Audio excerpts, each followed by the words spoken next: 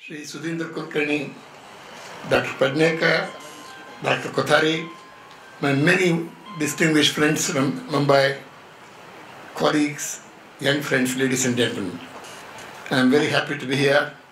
In fact, it is very embarrassing to attend felicitation functions. I've had uh, several of them and uh, I'm trying to avoid as much as I can. Uh, but uh, this has been a wonderful thing to come to Mumbai and thanks to Mr. Kulkarni who has taken all this trouble to organize this. I, when I was asked to give a talk, I first thought I would talk about uh, some of the latest research I'm doing because the research that I am doing today was something I was not doing three years ago. It's amazing what is happening to some of the fields of science today. For example, three, four years ago, graphene became very important, a one atom thick sheet of carbon. So exciting, so wonderful because the electrons in graphene are very different from electrons in any other solid. There is a tremendous ballistic transport of charge carriers, a great solid. But since then, four years ago, for the first time in our laboratory in Bangalore, we wrote a paper in Angewandte Chemie saying why graphene, why carbon, why not, why not make the same single atom sheet with non-carbon inorganic material like molybdenum sulfide, which is a layered material, some other materials.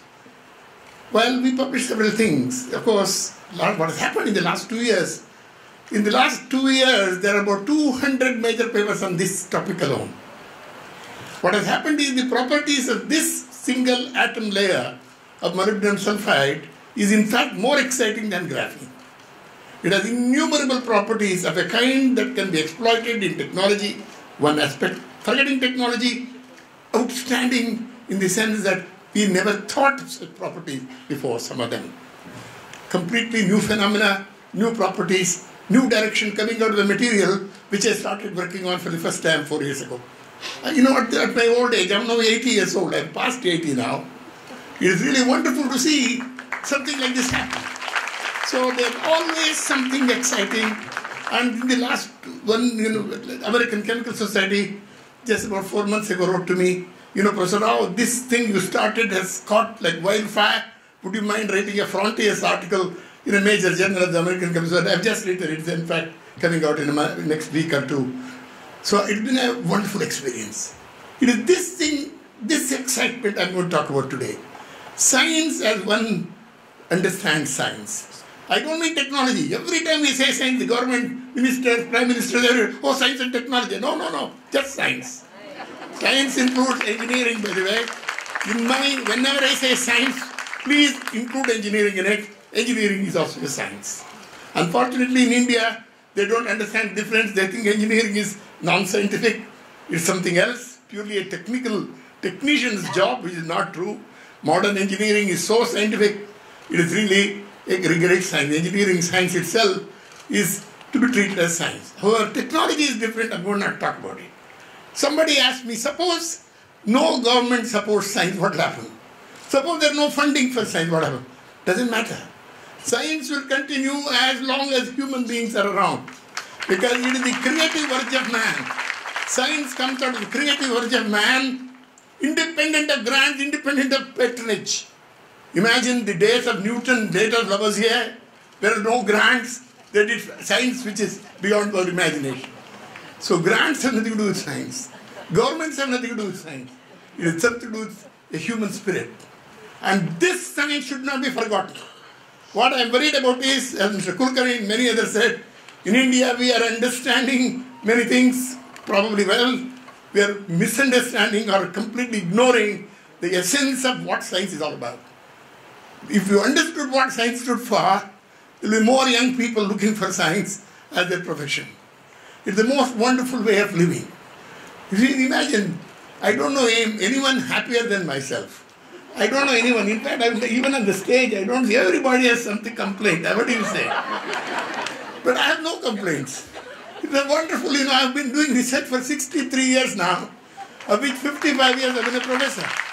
55 years of being a professor. I'm not tired, you see. And Mr. Vajpayee long ago said, somebody asked him, it seems you are retiring. He said, no, I'm not even tired. How can I retire? the same is true of me. So science has been a wonderful thing, and I'm going to say a few words about this kind of science, where science, doing science is something gives you a way of life, doing something that is exciting, creating new venues of knowledge, create, finding new ideas, new, completely new things. In doing that, of course, there are tricks how to do that. Well, you know, I started my research when there was nothing in India. You know, I hope you, if you don't know, let me tell you. I just entered college when India got freedom. 1947 August, I entered, just a few months earlier, I entered college. And you know, we were a very poor na- nation. I remind people in Bangalore and even in Bombay, I guess it's true in Bombay, they don't remember that. There was food rationing everywhere in India. We couldn't get rice, we couldn't get cloth, it was unbelievable condition. If you wanted five dollars, there was no way of getting any foreign exchange, no way of buying chemicals or equipment, poverty. So after many years in the United States, nearly five, five and a half years, after University of California, Berkeley, where I was a postdoctoral fellow, I came back to India, and what do I find? I took my first job in, in the Indian, Indian Institute of Science. There's nothing. There's no instrument. I was supposed to do spectroscopy without spectrometers. There's no equipment. How do you do research when there is nothing? That's the thing. But science cannot stop because there is no equipment. That's the thing. So this is the challenge I had. I was only 25 years old when I came back from US, and uh, they, I, I, I was really worried. It is then, of course, I decided to talk, start in, a, in an area of research where there was not too much crowd and where I could do something in Bangalore with the meager equipment, which some of which I could build myself. We used to build a lot of instruments. Even now, I build a lot of instruments in our lab my students. So I started something. This area is now called chemistry of materials. Those days we started calling it solid state chemistry. Very few people understood what you mean by solid state chemistry, even they even laughed at it. What is all this solid state? There is nothing like that. Well, I used to be subject of ridicule for a very long time, but I had to suffer that. But today, it is one of the main streams of chemistry. That in chemistry, there are two major streams going. One is toward biology, another is advanced materials. I belong to the advanced materials channel. And we have so much connection with engineering. Some of the best people in advanced materials today are chemical engineers, for example. Some of my friends were chemical engineers or electrical engineers. So this has been a wonderful experience to start in an area where there was nothing 55 years ago. I always quote a poem by Robert Frost How to pick an area of research. This is a secret. How to work in India still become very famous in that. You have to pick a lonely road. Frost says the following this is a poem by Frost, Robert Frost. Two roads diverged in a yellow wood, and sorry I could not travel both. I took the one less traveled by, and that has made all the difference. The lonely road. Never take a crowded road. That is exactly the problem of Indian research. People are working in popular area where they also publish a good paper. I'm not saying the work is bad. Very good, very satisfying, QED, everything has been solved, but nobody wants it. You see, there are many questions being answered in India, but questions never been raised. There's no need to answer them. But uh, very good research on areas, in areas where there is no challenge. So that is one of the problems of India. This is what we have to teach children, how to think in a way that is different. This is where, of course, American education, with all its faults, and probably education in Europe, particularly in Finland and countries like that, is so good that there is a peculiar innovative and creative spirit that is created, that, that somehow comes into the children. But that I think we have to do. We'll come back to that. But anyway, I started research like this, and slowly, of course, we, the poverty-stricken India, slowly graduated. There were IITs came up, other laboratories come up, have come up. Well, today, of course, eh, there are a few laboratories in India like mine, which are as good as the best. In fact, I, my laboratories are certainly better than, say, one in Purdue or some other place like that. Much better facilities. But we not be Purdue, I'd say Cambridge or somewhere like that. But you know that we have a few labs like that. The reason I'm mentioning is not to be proud of what the lab I have now. But unfortunately, majority of the institutions don't have that. See, one for every good institution we have, we have 100 very bad ones. Unfortunately, education is done in universities and colleges where facilities are so bad that there is no chance for a young undergraduate or a postgraduate to experience the thrill of doing exciting things. That is where China has differed. I keep going to China. In fact, I gave I was an Einstein professor in China last year. I went to many places to give lectures. You know what is amazing is even very fairly ordinary universities. Well, some of them have become very good in the last five years, like Tsinghua University or Jilin University or something like that. But you know, they have facilities which are unbelievable. First, they're very large. Your department of physics, if you go, how many professors? Oh, we have 300 professors. How many students? We have 1,000 PhD students. Impossible. You know, I went to this chemistry lab, which is a, uh, which gave me a big dinner and so on. I went there uh, to give a lecture and came, and was, uh, there were 1,400 PhD students in that Institute of Chemistry. Numbers so large that they, they, eclipse, they eclipse the entire world's effort in the quantity of science they are producing. To the extent that this year they are almost close to American production in science quantity. Next year they'll surpass the United States. America produced 16.5% of world research last year. China was 14.5%. And China will very soon be 16, 16.5%. America will probably be 15. But I'm not worried. America need not worry about it. Nobody can beat American quality of research. Fortunately, that is where this is the more important thing. Even quality of research, we are not doing too well. Quantity, how much does India produce? Somebody did say that in the report. Our production of science, quantity, only quantity, number of papers in engineering, science, all put together, 2.5% of our research. That was so 20 years ago. It is still 2.5%, flat, parallel to the x-axis. No change. I don't even mind that. I'm, I'm not worried about that. What about quality?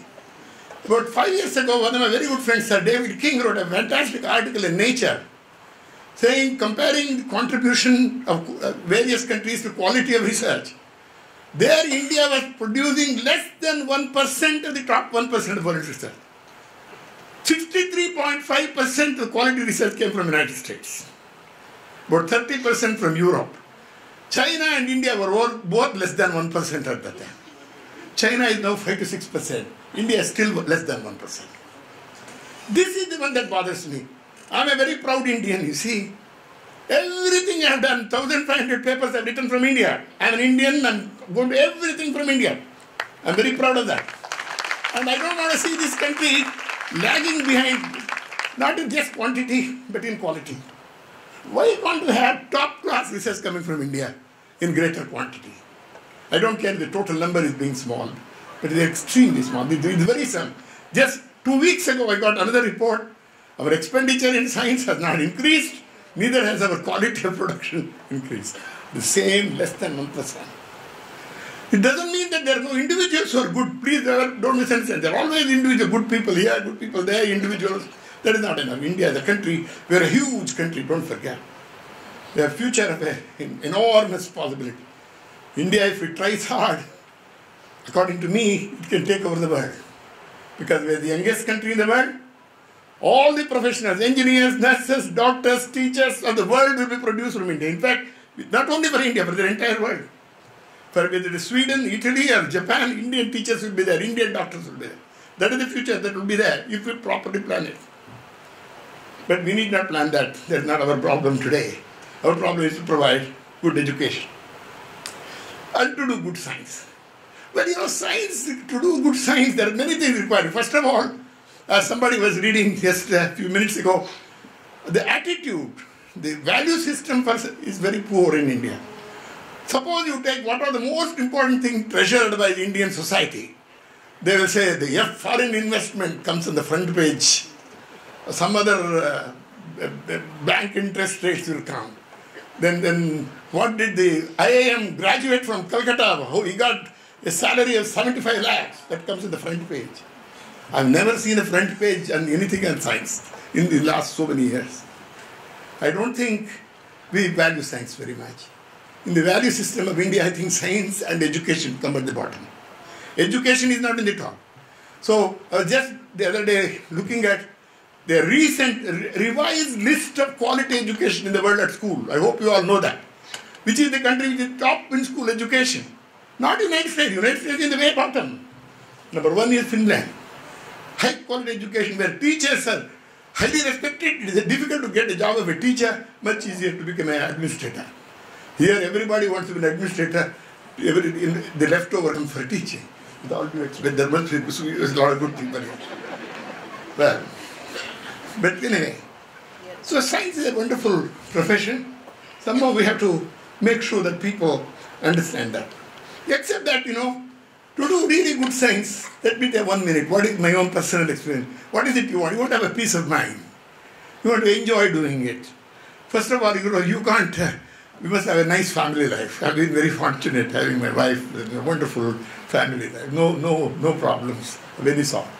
However, that, what I mean by that is, if somebody is always fighting with his wife, he's unlikely to do good research. because his mind is always worried about his uh, fights at home. Okay, jokes apart, seriously speaking, I think one has to make up one's mind in India. What is it that is important for India? I think for India, education and then science, or science education together, I think is very, very important. And we're a very critical society. As you know, we are very critical of ourselves. We are very intolerant of everything.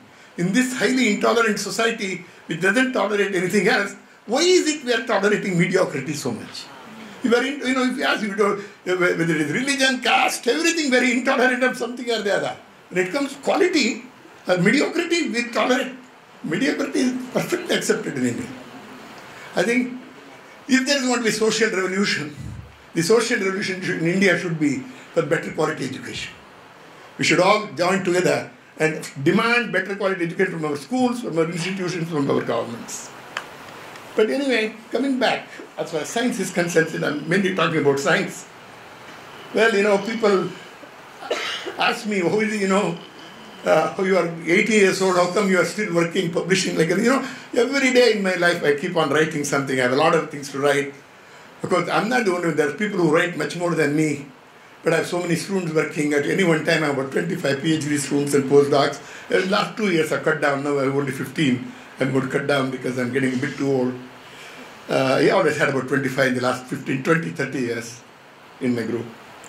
So we have so much to write, so much to read, so many things to do, keeping yourself so busy.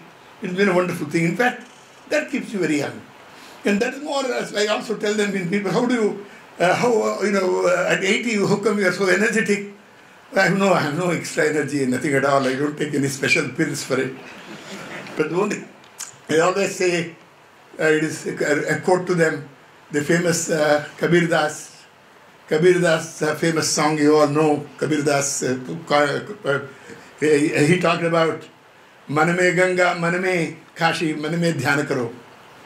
Same thing about science, education, everything. Maname, maname buddhi, maname shakti, everything. I really believe India should use that man. Man is the one that is not being used. In Bangalore, you see, I'm, I'm ashamed to say that I come from that city. It has now become number one in ranking for what? Number of rapes and suicides. It's unbelievable. 3,000 suicides last year. You don't believe it. You know, people are making a lot of money, but they have lost their mind. All the young people going with nice suits and briefcases but empty heads. What do you do with them? No, this is no, this is sad thing. You please worry about it. They may get money for five years. They're already exhausted at the age of 35. They want to retire. But here I am at 80, I'm looking forward to some more years of good research. Anyway, coming back to what I was saying, you know, what, what I found in my life is to remember great names in science. Lena mentioned a few names. I think of these great stories. In fact, this is how I teach science, telling a lot of stories in a classroom.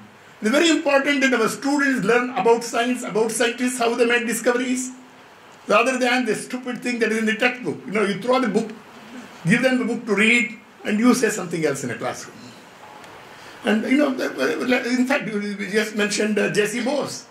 None of them, in fact, the other day I asked all my students, none of them knew exactly what J.C. Bose had done.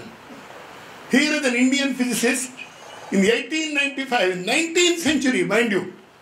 He made a discovery of telegraphy in Calcutta working in a little college called Presidency College. How did he do that? It's really amazing, even today, when you look at what he did. He should have actually got a Nobel Prize. He should have shared it with Marconi, but he was cheated out of it. Actually, he was cheated, there's no doubt about it. The IEEE in the United States and also the Royal Society in London have come out with beautiful stories about how he got cheated out of it. They, they, they clearly acknowledged that he missed out because people, you know, after all, we were a colony at that time, nobody to push a case of J.C. Bose. Amazing, how did he do that? This story our young people should learn in school. This story in colleges, people should know how he did it. They don't remember, they don't even know that C.V. Raman didn't have a job as a scientist when he, both when he got his Nobel Prize or when he got his fellowship with the Royal Society. When he became an FRS, I hope you know that being an FRS is difficult even today, but then when he was made an FRS at a young age, it was much more difficult. We were under the British rule. He was in Nagpur as a senior accounts officer of the British government. During evenings, he used to go to Nagpur Science College, did experiments, and based on those results, he wrote his famous papers on acoustics. That is the one that got a fellowship with the Royal Society. Most of his Nobel Prize is mainly because of the evening like evening research he did in a place in Calcutta, not because he had a regular job, 24-hour job, paying money for him as a big scientist. And he is, that is the story of India. And I don't know whether you have told your children as teachers, some of you, Ramanujan in a miserable hole in Tamil Nadu. I don't know, I was there two years ago to give a lecture, Ramanujan lecture in that little place. Even today it is a backward India. Back, I'm not backward. Somewhere. It is not the mainstream.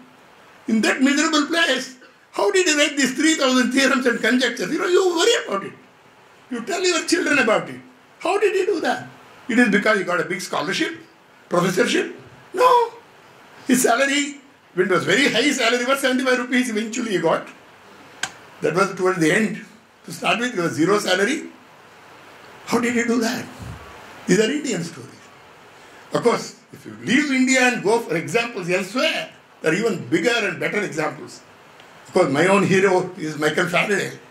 I never tire myself of telling about Michael Faraday. Two minutes on Faraday because otherwise I'll, uh, once I get it, I have to say, it is one of those compulsive things I have about Faraday. Remember, he is a man with only three years of schooling. But as people say, if only recount everything he did in science, as Lord Rutherford said, he could have easily got five Nobel Prizes in 20th century. Unfortunately, it was in 19th century where there was no Nobel Prize. He discovered laws of electrolysis. He discovered benzene. Organic chemistry would have given him a Nobel Prize for that. He would have he discovered electricity. I think worth the Nobel Prize easily. And magnetism, another Nobel Prize. The word paramagnetic, diamagnetic, electrode, ion, cation, electrolysis, all these words are coined by Michael Faraday in 19th century. And this man with only three years of schooling. How did he do that? And you know, he was a simple man. Greatness in humans goes with simplicity, mind you.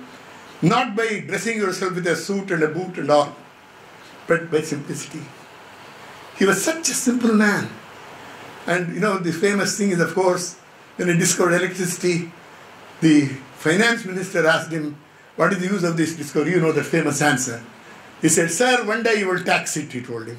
and then when the prime minister came, again, just like our prime minister is coming to Bombay, he, then prime minister in England, Mr. Faraday, what is this electricity you are discovering? What is the use of it? He said, Sir, what is the use of a newborn baby? He said.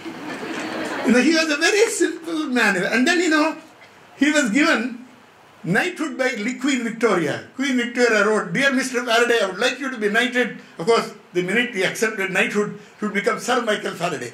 He wrote back, My dear Queen, you have been always so gracious, so kind to me. But people call me Mike, people call me Michael. I want to remain that. I don't want a knighthood. He didn't like that. How many do that? How many do that? And second, you know, this is very important for India, what I am saying. People want to become directors, then they want to become director general, they want to some other general. In India, very common. Everybody wants to sit on the top somewhere. Very few people say, let me sit on the real chair in the lab. That is where the real chair is. Faraday was one of them.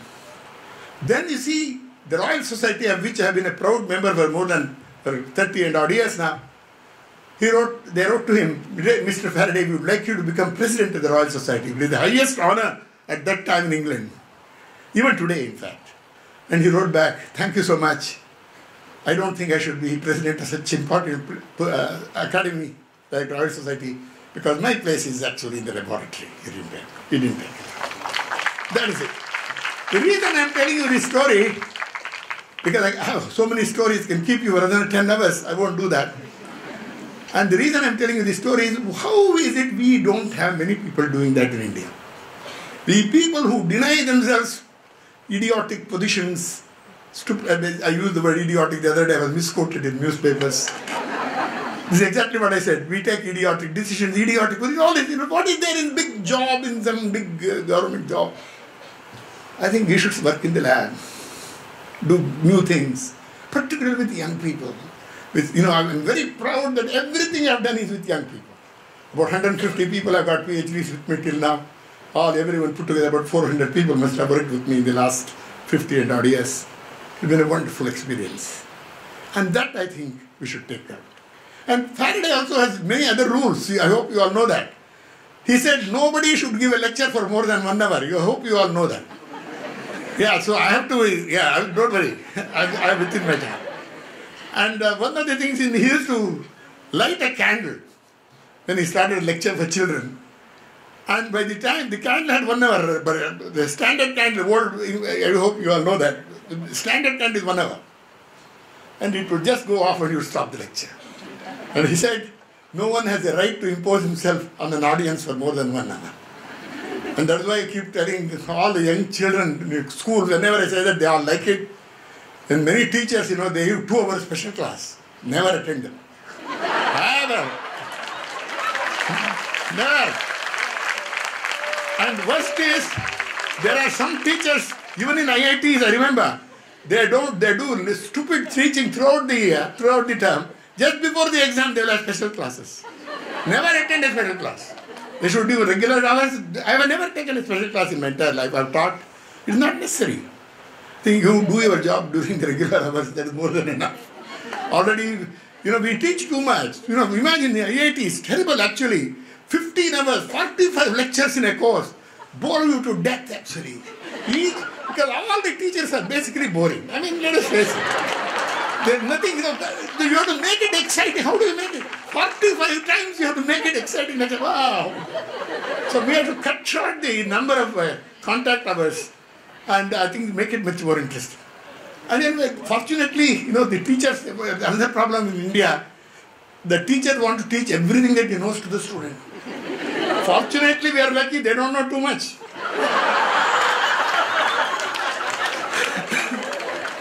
Okay. Coming back. I want to close my lecture in the last five minutes, ten minutes maybe. You know, as I told you, it is very important to tell these stories. I hope I convinced you to talk to students about science includes the origin of how ideas got created. See, there is no way of teaching children how to become creative. Otherwise, you just go to a classroom, learn how to be creative, come back like a machine, and you become creative. No, there is no way. You can teach them all the stuff in the books, but never teach them how to become creative. One possible way is get them excited about great scientists, their lives, how they did science. Maybe that will help them to become creative. And then, you know, another thing also, this applies to India particularly. You know, there is a very famous Hindu in, in the, uh, our Sanskrit, and it is amazingly also in Christianity. Amazingly, even in Buddhism, I found this common in commonality in all religions. What is it? Fearlessness comes out of the absence of self. Selfless people only can be fearless. God has been very kind to me. I have been very fearless. I have nothing to hide. I know, no, nothing. You can take anything. I have no secrets uh, and all that. I'm very proud of that. And I found many people changing their opinion depending on who the audience is, who is asking the question. Because of the fear, you know, because they want something, they can never give their opinion. You see, scientists, therefore, have become very honest and less selfish. In fact, just out of respect to Another great man, great Indian, who exactly 100 years ago won a Nobel Prize, first Nobel Prize of India, Rabindranath Tagore, I hope you all know that, 100 years ago he got a Nobel Prize, people have forgotten. 150 years ago we had Vivekananda, we have forgotten. And we never think about these great Indians we had. And I'll read one poem from Gitanjali about selfishness. I came out alone on my way to my tryst. But who is this that follows me in the silent dark? I move aside to avoid his presence, but I escape him not. He makes the dust rise from the earth with his swagger. He adds his loud voice to every word that I utter. He is my own little self, my Lord. He knows no shame, but I am ashamed to come to thy door in his company. You know, it is very true. Selfishness, if you have, you can't do good science also. Everything he says is true. Well, then what is it that we need to do in India? We have to produce more people who are just committed to science, not to just self, not to just positions. We may not produce a Faraday, we may not produce a Raman, we may not produce a Ramanujan. We at least produce highly dedicated scientists. Well, for this there is very little time. Mr. Kulkarni somehow didn't mention about time. I would like to mention that. There's no time. India doesn't have that much time to do all this. The competitive world is so bad today. I hope you all know that. You know, I work on a day-to-day basis. I compete with the, the best of them in America or Europe or Korea or China. My God, the rate at which things are happening, you have to be galloping to remain stationary.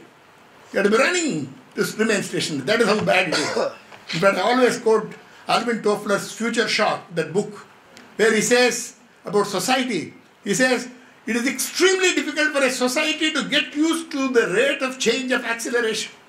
Acceleration itself is a second derivative of, you know that. Rate of change of acceleration, you can imagine, that is exactly what is happening in science. Today, if you have not done real active science in a major competitive field for two, three years and gone away as big administrator somewhere, don't expect to come back and start again. Forget about it. It is impossible to do science on a discontinuous basis. So this is the time. We need very little, we have very little time to in, in India. And we have to respect that. In fact, I always uh, read a quotation of Michael Faraday about time, how valuable it is. You know, he says, what is the longest and the shortest thing in the world? Swiftest and the most slow, the most divisible, the most extended, the least valued and the most regretted.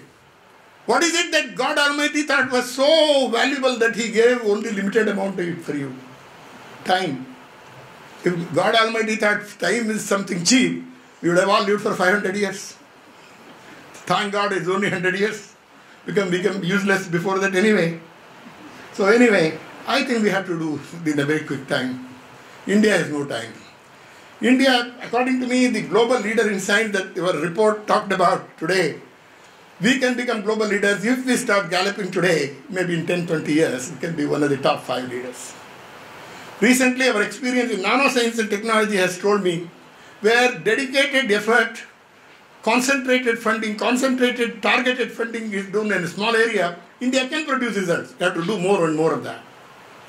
We have to learn that. Well, I have to stop here. You know, again, suddenly I remember uh, in Gitanjali, I think it's a which poem, I don't remember the number. Uh, again, Tagore, he says, he says, time has, I, am getting old, he says.